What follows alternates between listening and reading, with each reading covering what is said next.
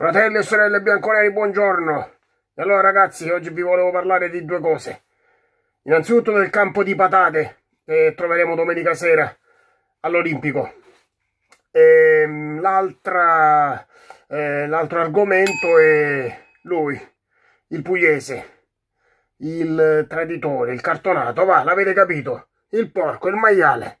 Sì, proprio lui, eh? Antonio Conte, sì, è lui che si lamenta sempre, ma ne parleremo tra poco. Prima fatemi accennare a questa cosa del terreno di gioco e ci tengo particolarmente e spiegare innanzitutto perché Roma e Lazio giocano contemporaneamente l'ultima giornata in casa e l'ultima giornata di ritorno ovviamente entrambe in trasferta. Perché? Perché ci sono delle date di consegna dello Stadio Olimpico che ospiterà le prime gare degli europei del, della nostra nazionale e, e soprattutto la gara inaugurale dell'europeo. E dunque la UEFA aveva bisogno di un tot di settimane eh, come da prassi un tot di settimane di anticipo di consegna del campo come da prassi UEFA per questi eventi. Dunque le ultime due giornate di ritorno non potevano usufruirne né la Lazio né la Roma. Dunque l'andata in casa. L'andata in casa entrambe che cosa vuol dire? Che la Lazio giocherà sabato e il giorno dopo in un terreno che ovviamente sarà un pochino disastrato giocherà, giocheranno Roma e Juve. Roma e Juve, questo ripeto non è un accampare scuse ragazzi, perché sì, la Juve gioca un calcio di, di possesso palla, di palla comunque di palla a terra, palla a rasoterra. Lo fa anche la Roma comunque. La Roma pratica anche questo tipo di calcio, perciò saranno penalizzate entrambe. A andarci di mezzo saranno gli spettatori in, in tribuna e in tv. Saremo tutti penalizzati a vedere una partita dove i rimbalzi saranno palesemente irregolari perché, mm, perché non c'è il tempo in un giorno del drenaggio del campo, il sistemare, non c'è assolutamente tempo ragazzi e ci si poteva pensare prima. Si poteva mettere la partita il venerdì oppure l'altra il lunedì sera come, come da prassi, posticipi del lunedì, quantomeno dare un giorno in più per sistemare questo campo.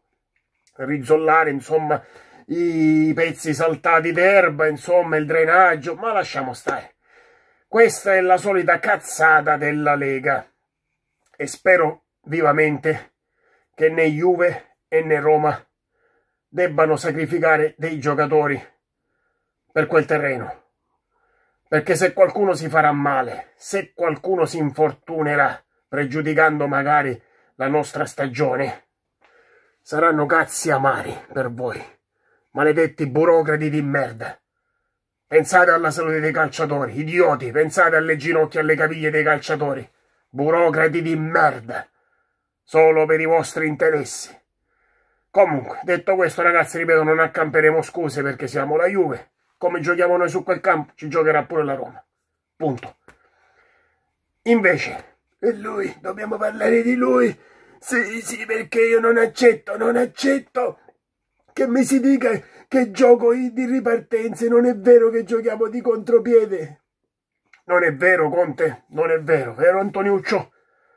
Se ne, se ne accorgono anche le pietre, anche i sassi che tu giochi, che tu pratichi un calcio di ripartenza, soprattutto in trasferta, dove infatti mi pare che le hai vinte tutte o quasi.